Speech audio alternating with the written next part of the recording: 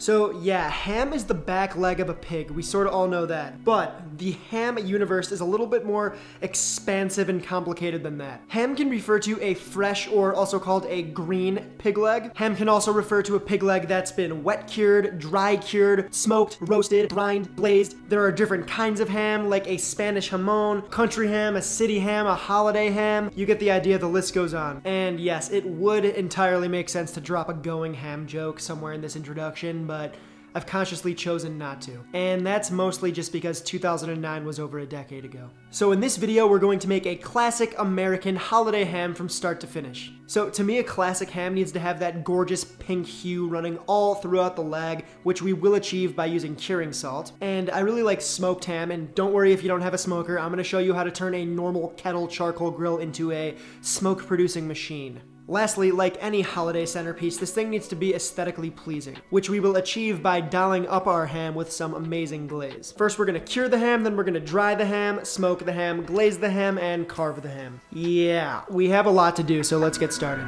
To begin, we'll need one whole ham. Not the shank end, not the butt end, the whole dang leg. You can special order one of these babes from a good butcher, just ask for a fresh or sometimes called green whole ham. This ham weighs about 15 pounds, which believe it or not is actually on the small to middle end of the ham size spectrum. The ham starts at the larger butt end, then tapers down towards the shank end. If we were to continue down the shank end, we would eventually get to the trotter, which has already been removed. Next, use a sharp knife to score the ham. Score down to the fat cap, but do your best not to puncture down into the flesh itself. I'm giving this ham a large checkerboard pattern for two reasons. One, because I think the end result looks super tight, and two, because as the skin cooks in the low heat of the smoker, the skin checkers turn into these little pluckable cubes, almost like chicharrones or cracklins. And also, expect your ham to shrink a bit during the cooking process, just a heads up. Next up, we need to cure our ham. Grab a large container like this 22 quart Cambro and clean it out. To summarize, curing is the act of using salt to preserve food. Using curing salts to cure and thereby preserve meats is a technique that's been used since the Romans were around. We don't necessarily need to cure meats anymore, however, doing so provides a certain delicious look and taste.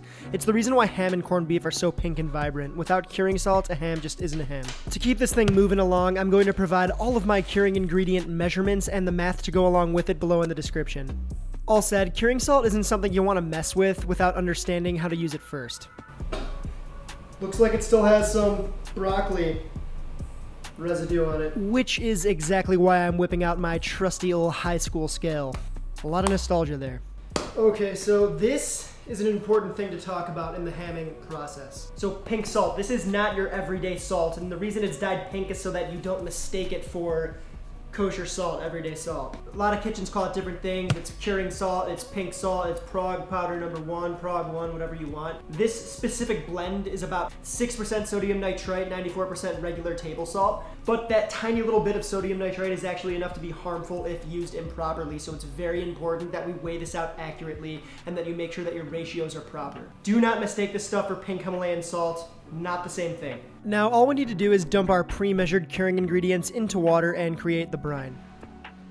Make sure to use enough water to submerge the entire ham by at least a couple inches. The water that you use should be cold, and don't worry, we're going to mix this brine almost every day so the salts and the sugar will have all week to dissolve into the liquid. Once dumped, give the liquid all a good mix until most of the solids look incorporated into the water. Alright, this is where it gets a little creepy. Now we're just going to inject the ham with some of the mixed brine. Injecting the ham with brine will both speed up the curing and brining process, as well as ensure an even cure all throughout. Using a meat injector, puncture the flesh in between the scoring, then slowly inject a full syringe of the brine. Repeat this process 6 to 8 times on both sides of the ham. If you skimp on injecting, you could be left with a half-cured ham full of patchy brownish gray spots due to undercuring.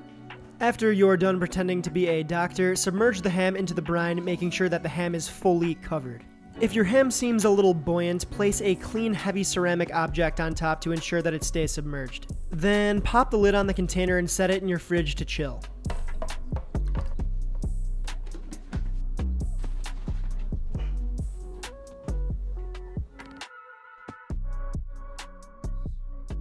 Sometime later, and it's time to attend to our ham once again.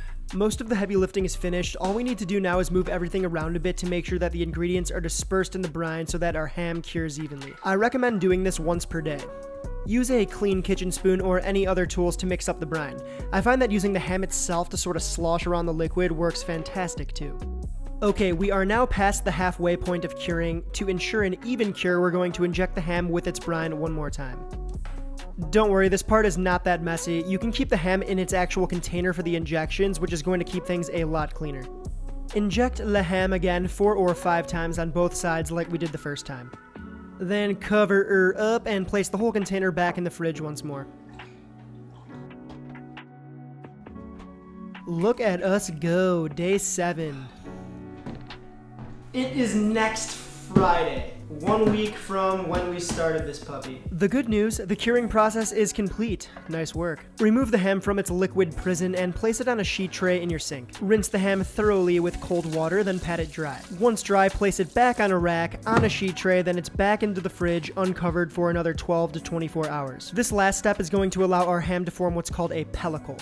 Basically, a pellicle is a thin layer of proteins that will allow smoke to cling to the meat better. Don't skip this step, it's important. You've already come this far, be patient, Padawan. Alright, the day has finally arrived. It's time to smoke the ham. Remove the ham from the fridge. Oh boy. The ham is looking nice and dry and has had time to form a pellicle. Let's fire up the grill, or in this case, the smoker. Though we aren't going to fully finish the ham out here, smoking something this big does take time, so it's best to start early. To transform a charcoal grill into a smoker, lay in two bricks like so. This will form a little cozy bed to tuck our wood chunks into. Pour about half of a charcoal chimney's worth of coals into the brick basket, then lay in a metal tray or something similar to help catch any grease drippings. Pop a few chunks of soaked wood right on top of the hot coals, then sprinkle a few more cool coals over the top. Place the grate on, making sure to orient it so that the lever is hanging over the coals. Maneuver the lid so that the top vent is opposite side of the burning wood. This will drag the smoke over the meat. Also, make sure that your bottom vents are cracked to let air in the grill. More airflow means a hotter grill, so control the temperature with your vents.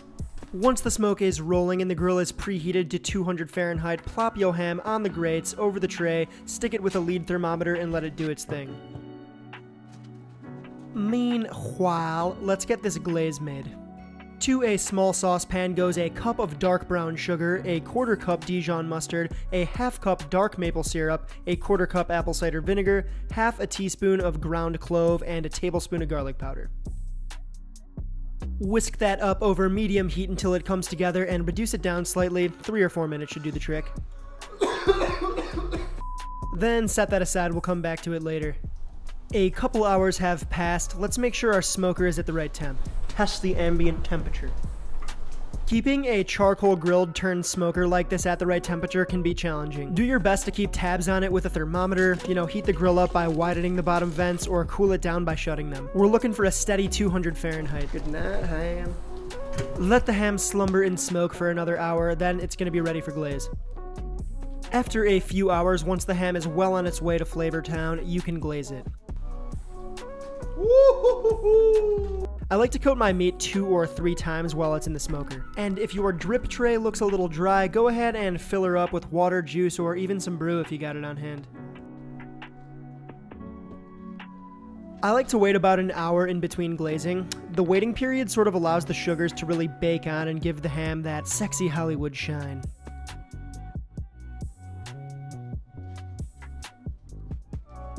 Now, you totally could finish the ham in the smoker, but I like to finish it in the oven for temperature control's sake. After several hours outside, the smoke really has done its job. Plus, if you live in an area like me where it gets super cold, I highly doubt you want to spend all day and night tending to your meat in the freezing cold, especially when you have friends and family around. By now, your ham should read somewhere around 130 degrees Fahrenheit. From here, really just glaze the ham one more time, then place it in a 250 degree Fahrenheit oven. Cooking times vary by oven, size of the ham, and a lot of other variables, so cook the ham by temperature, not time. Cook it until it reads 155 Fahrenheit, which could take anywhere from one hour to a few more. Once the ham hits temp, remove it from the oven. If serving immediately, let the ham rest for at least 45 minutes before carving. I mean, you've come this far, don't eviscerate the ham too early, we want it as juicy as possible.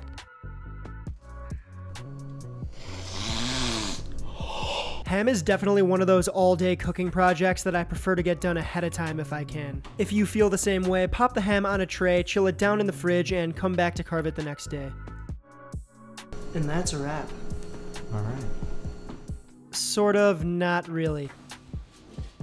As stated, I find it much easier to cook the ham fully the day before serving, then carving, then reheating and serving. She is pretty pretty. Okay, so before we actually carve into the ham, let's just check out basic ham anatomy. There are three bones we need to worry about. The shank, which is gonna be protruding out the end, the femur, which runs sort of like on a slant, and then the H bone, which runs sort of in an opposite direction slant. It's kind of annoying, but we're gonna work around it. I'll show you how to do it. Understanding the bone structure of the ham will help you figure out the carving situation. Begin by removing and reserving those beautiful little crackling cubes. They almost look like little like Japanese curry roux cubes. It's personal preference, but I like to flip the ham so the inner leg is facing upwards because I find that the bones are easier to feel out. Using a sharp knife, poke around the ham until you feel the shank, femur, and H bones. Let the location of those bones guide your knife and do your best to cut out large chunks of meat from the ham. Ham separated from the bone and divided into larger pieces is much more easier to work on than slicing ham from the bone. And don't be afraid to sample some of that, Piggy. You just spent over a week creating this masterpiece. You've earned it.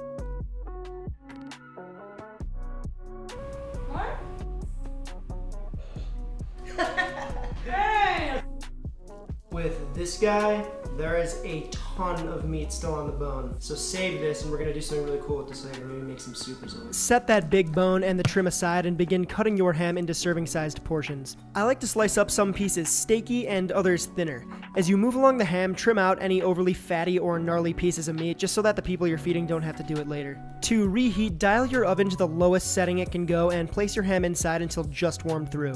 Then transfer it over to a plate and doll it up however you see fit. I'm tossing on some green herby stuff and pink peppercorns to harness that holiday energy.